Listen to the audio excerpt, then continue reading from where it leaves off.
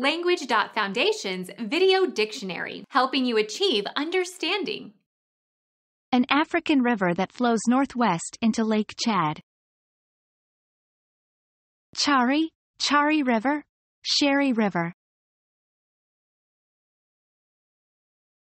Become our student and get access to effective and free educational materials.